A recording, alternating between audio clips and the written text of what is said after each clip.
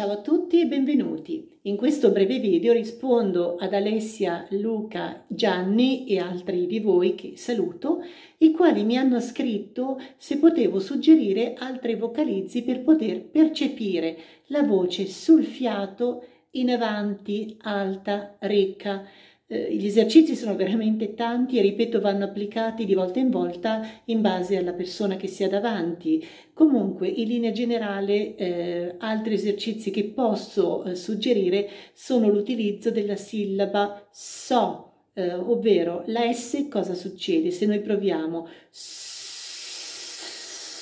fa uscire molto fiato, molta aria libera.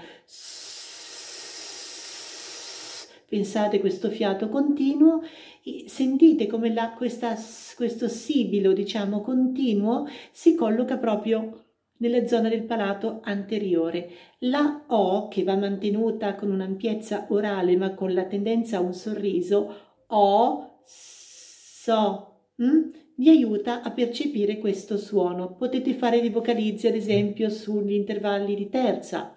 So, so, so, so, so e così via. Oppure potete fare gli intervalli di quinta. So, so, so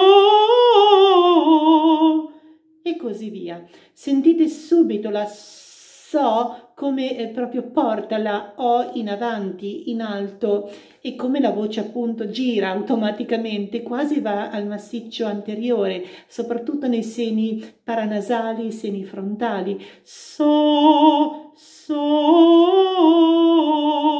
so. Utilizzate la che vi aiuta molto. Ecco, questo è un altro vocalizzo che può aiutarvi, uno dei vocalizzi, tra l'altro, che utilizzava il grandissimo eh, Tito Schipa. Un altro vocalizzo, sempre che utilizzava Tito Schipa, è la sillaba no. Eh, perché? Perché come abbiamo detto in altri video, la N porta il suono proprio nei risuonatori anteriori e quindi nei risuonatori eh, paranasali, negli etmoidali, nei seni frontali. No, no. Potete esercitare la voce su intervalli, iniziate magari con intervalli di seconda. No,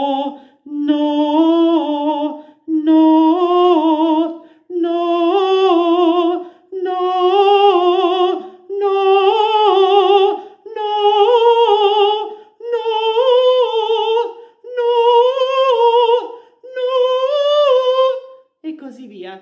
Eh, sentite come più salgo più do spazio. Eh, mantenete la N a punte e lasciate una O, mi raccomando, una O aperta. E poi potete fare le terze, le quinte e così via. Cerco di fare un video breve come mi avete chiesto, vi suggerisco appunto questi vocalizzi che possono aiutarvi. Sentirete proprio come la voce, mi raccomando lasciatela andare in alto e avanti, no, la lascio, la elevo e la lascio andare avanti, sfrutto la N come risonanza. No! Vi può essere di aiuto ad esempio l'idea del forellino, ma non è necessario, non è obbligatorio questa idea del forellino, la N già vi porta no, la voce in avanti, no, Va bene, vi lascio, vi mando un saluto, mi avete chiesto un video molto breve, spero di mm, avervi accontentati, di mm, avervi dato delle indicazioni utili, vi mando un saluto e a presto. Ciao!